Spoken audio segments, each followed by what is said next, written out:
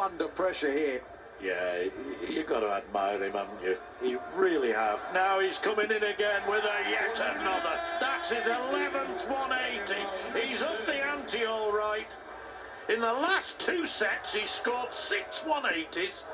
Oh, this is amazing! Amazing! Amazing! That man is king! He is